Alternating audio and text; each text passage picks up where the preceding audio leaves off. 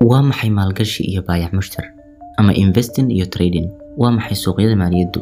Waa maxay stock market forex market cryptocurrency market? Sidee looga shaqeeyaa suuqyadan? Maxayse ku kala duwan yihiin? Dhammaan su'aalahaas jawaabahooda iyo macluumaad kale oo muhiim ah ayaan uga hadlaynaa muuqaalka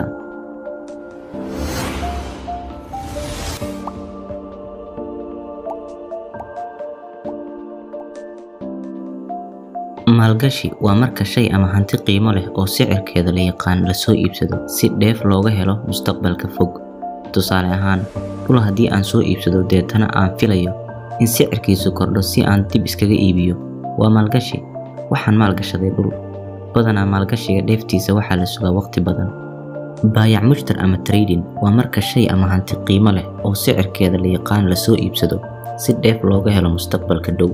Si kale haddaan u idhaahdo baayac mushtar waa safrinta badeecadaha iyo adeegyada. Tusaale haddii aan heshiis la galo warshad soo gasacadaysa kalluunka oo aan sicir jaban ku soo iibsado si aan magaalada uga sii iibiyo waa baayac mushtar waxaan ka baayac mushtarayaa kalluunka. Badanaa baayac mushtarka dheeftiisa waxaa la sugaa waqti yar. Farqigaas aan badnayn ayay labada eray leeyihiin asal ahaan balse waxaa farqigu sii badanaya marka la yimaado caalamka maaliyadda. Weliba agabka maaliyadda ee suuqyadiisu internetka ka dhex furan yihiin inta aynu agabka maaliyadda sharaxin aynu farqiga ku soo kordhaya labada eray ee maalgashi iyo baayac mushtar kala saarno. Marka la joogo agabka maaliyadda hantida aad maalgashanaysid waxa aad la wareegaysaa lahaanshaheeda oo khaanad aad leedahay baad ku ridan ama shahaado lahaansho baa lagu siin. Dheeftana waxaad ku helaysaa faa'iido ay hantidu shaqayso ama sicirka hantida oo kordha. Balse shayga aad ka baayac mushtaraysid kugu soo wareegi maayo lahaanshahiisu. Taas beddelkeeda waxa aad gelaysaa heshiis waqtigiisu gaaban yahay. Dheeftana waxaad ku helaysaa isbeddelka sicirka. Speculating price movement. Maalgashi investing iyo baayac mushtar trading sidaas ayaa farqigoodu noqonayaa kolka la joogo suuqyada online-ka ee agabka maaliyadda iyo agabyada kale ee qiimaha leh. Haddaba waa maxay agabyada maaliyadda iyo agabyada kale ee qiimaha leh? Waa agabyo qiimo leh oo asal ahaan ka soo jeeda mid ka mid ah saddexda cunsur ee isla egta xisaabaadka hantida caadiga ah raasumaalka iyo deymaha. Saddexdaas cunsur ee asaasiga u ah xisaabaadka ayaa waxaa laga soo dhiraandhiriyay agab qiimo iyo sicir leh la maalgashan karo lagana baayac mushtari karo. Waxyaabahaas ayaa abuuray suuqyada maaliyadda xarumaha kale beddelka nidaamyada maaliyadeed iyo wixii la mid a waxaa abuurmay warshad cusub oo dhaqaalaha qayb ka ah looguna yeero maaliyad sidoo kale finance waxaa loo yaqaanaa cilmiga akadeemiga ah ee daraasadeeya caalamka maaliyadda guud ahaan. Waxaan hoos u sii gelaynaa agabka maaliyadda iyo agabyada kale ee qiimaha leh. Waxa ay kale yihiin ereyada loogu yeero agabkan waxaa ka mid ah financial assets securities financial instruments iyo wixii la mid a magaceeda doonaha loogu yeero inta ugu caansan ee hadda shaqaysa waxa ay kala galaan shantan khaanadood ee soo socda. Currency waa lacagta caadiga ah ama loo yaqaano fiat waa lacagta xaashiyaha ah ee dowladuhu daabacaan sida doolarka poundka shilin soomaaliga iyo wixii la mid a waa mid ka mid a agabyada maaliyadda ee qiimaha leh sicirkana leh marka la isbarbardhigo ugu yaraan laba lacagood tusaale ahaan lacagta midooda yurub iyo doolar euro u s d. Lamaanahan waa mid sicir leh oo qiimo ku leh suuqyada maaliyadda. Laba lacagood oo laba dowladood soo kala saareen marka la isbarbardhigo waxaa soo baxaya wax qiimo leh suuqa u gaarka ah ee isbeddelka lacagaha waxaa loo yaqaanaa forex ama foreign exchange stocks ama shares. Waa saamiyada shirkadaha waaweyn ee adduunka ku yaal. Shirkadahaas waxa ay suuqa saamiyada keenaan saamiyo ka mid ah raasumaalkooda ama deymo. Tusaale ahaan shirkadahaas waxay noqon karaan facebook google walmart toyota apple iyo kuwa la mid a suuqa shaqadaas qaabilsan waxaa loo yaqaanaa suuqa saamiyada ama isku beddelka saamiyada stock exchange. Indices waa saamiyo ka dhashay shirkado isku tegay habsami u socodkooda. Performance. Meesha ay stockisku ahayd hal shirkad saamigeed. Indices waa shirkado la isku dhafay natiijo ka dhalatay saamiyadooda. Market capitalization weighted index. Tusaale ahaan waxaa ka mid ah nasdaq boqol oo ah boqol shirkadood oo maraykanka ku yaal. Nasdaq waxaa loo soo gaabiyey national association of securities dealers automated quotations s 500 iyagu waa shan boqol oo shirkadood oo maraykanka ku yaalla oo loo soo gaabiyey standard and poor's 500 index nickel 225 iyagu waa laba boqol labaatan iyo shan shirkadood oo jabaan ku yaalla f t s e 100 oo ah boqol shirkadood oo u k ku yaalla financial times stock exchange 100 ayaa loo soo gaabiyey dark stedy oo iyaguna ah soddon shirkadood oo jarmalka ku yaalla iyo kumanaan kale oo indices ah ayaa qiimo ku leh suuqyada saamiyada. Commodities waa badeecado caadi ah balse waxa ay ka soo jeedaan laba ilood. Khayraadka dabiiciga ah siiba macdanta la qodo ama tamarta iyo wixii la mid ah iyo beeraha. Wixii aan labadaas midkood ka soo jeedin suuqyada maaliyadda qiimo kuma leh. Tusaale ahaan kombiyuutarkaaga ama gaarigaagu waa nooc badeeco ah balse qiimo kuma leh suuqyada maaliyadda.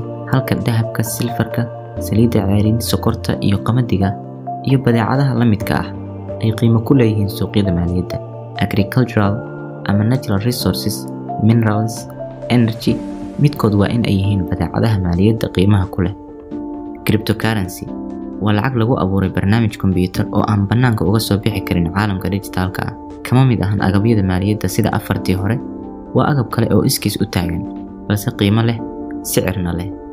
Agabka maaliyadda waxaa laga soo dhiraandhiriyey saddexdii asaasiga ahayd ee hantida ra'sumaalka iyo deynta balse kiribtadu kama soo jeedo waxyaabahaas. Waa dhalan rogan ama evolution cusub oo ku dhacay lacagtii la yaqaanay. Waxay yidhaahdaan cryptocurrency is a digital money for the digital age.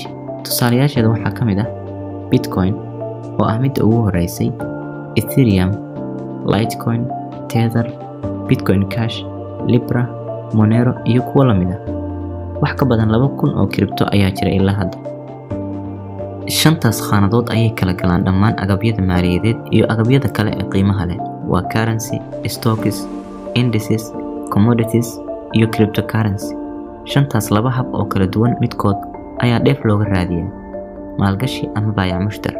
Sida aan kor ku soo aragnay maalgashi iyo baayac mushtar way kala duwan yihiin balse mid kasta aynu yaro dul istaagno inagoo shanteenna agab ku tusaaleynayno lacagaha ama karansiga badanaa ma ahan wax dadka caadiga ah ay maalgashtaan shirkadaha waaweyn waa laga yaabaa inay maalgashtaan dabci ahaan baysan micno badan ku jirin.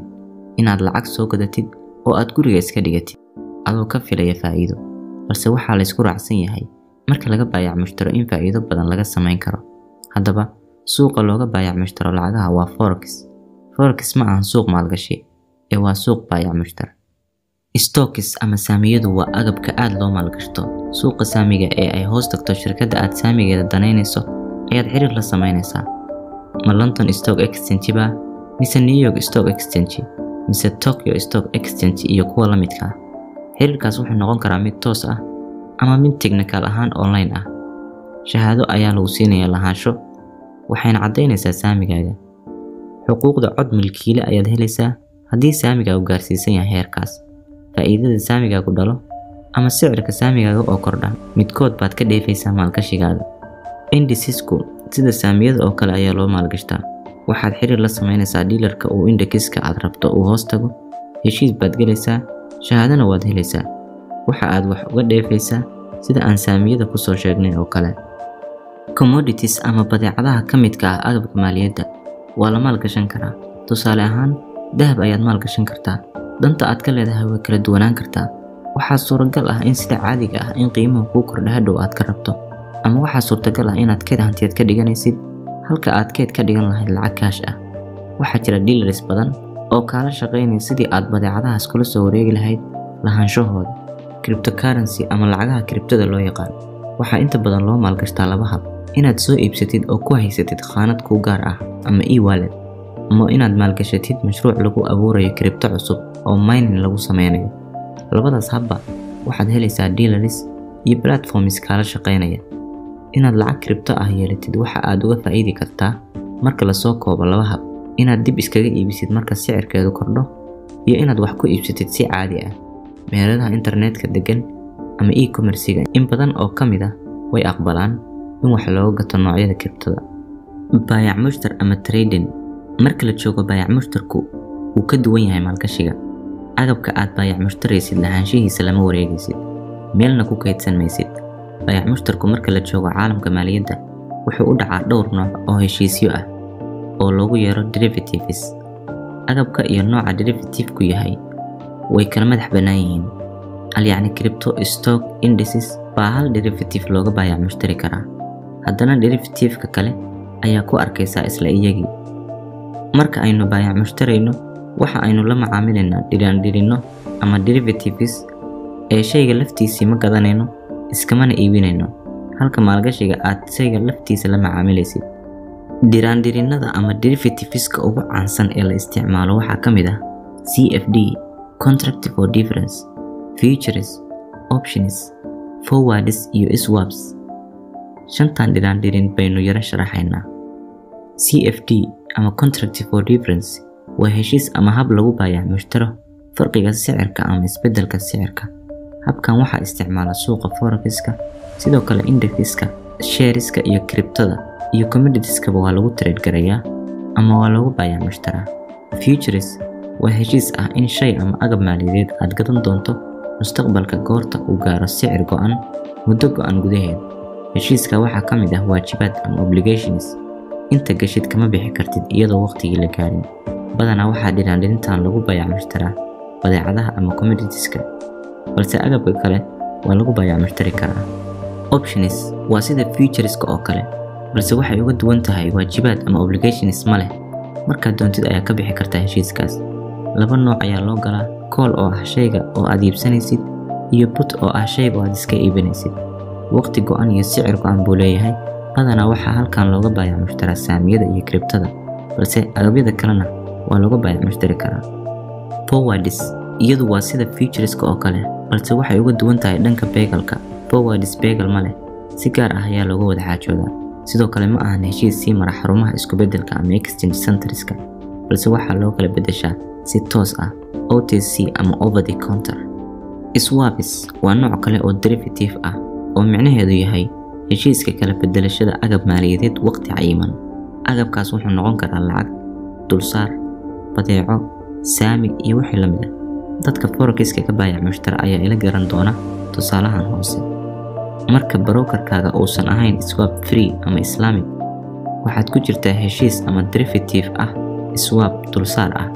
Heshiiskaas brokerku wuxuu ugu talagalay dadka raba inay tareerka ku jiraan kala wareegga maalinta forexiska ama overnightka. Swapka ama adaa ka wadi kara brokerka oo waad ka faa'iidi kartaa ama waa lagaa wadi karaa oo isaga ayaa kaa faa'iidi kara shantaas derivative ee aan soo sheegnay ayaa ugu caansan heshiisyada lagu baayac mushtaro marka laga shaqaysanayo agabyada maaliyadda iyo agabyada kale ee qiimaha leh. Shantaas heshiis iyo shanta agab ee qiimaha lahaa ayaa isku soo noqnoqda oo lagu baayac mushtaraa mararka qaarkood derivativeska laftooda ayaa la oran karaa waa mid ka mid ah agabyada maaliyadda ama financial instrumentska. Teknikaal ahaan shaqadan waxaa fududeeya danley tiro badan. Waxaa ka mid a bangiyada xarumaha isku-beddelka dulaalada diilariska barnaamijya baayac mushtar ama trading platforms iyo wixii la mid a sidaas oo kale ayaa maalgashiguna leeyahay danley badan oo suurto gelisa sida aan horey uga soo sheegnayba ugu dambeyn muuqaalkan waxa uu ahaa guudmar kooban oo ku saabsan maalgashiga iyo baayac mushtarka maaliyadeed ama investing and trading. Ujeedkiisu waxa uu daranaa in dadka forex oo keliya maqlay ay arkaan sawirka weyn ee maaliyadda iyo meesha ay forex uga jirto balse la soco haddii aad industrigan danaynaysid inaad maqaal qoraal ah ama muuqaal baraha bulshada la soo geliyey aadan ka baran doonin. Mid ka mid ah xirfadaha looga baayac mushtaro ama lagu maalgashto agabyada maaliyadda taas waxay u baahan tahay inaad iska diiwaangeliso koorso ama akademiyad xirfaddaas lagu barto.